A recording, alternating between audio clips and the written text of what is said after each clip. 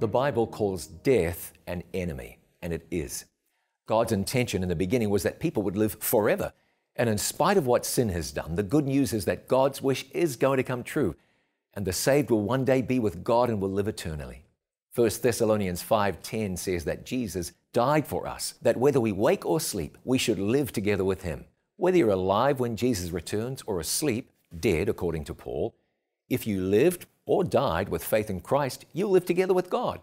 Every day people farewell loved ones. Families are torn apart, parents are buried, and sometimes it's parents burying children. Immensely sad. Aren't you glad today that God has a plan for this world beyond death? Through Jesus, we can live forever. I'm John Bradshaw for It Is Written. Let's live today by every word.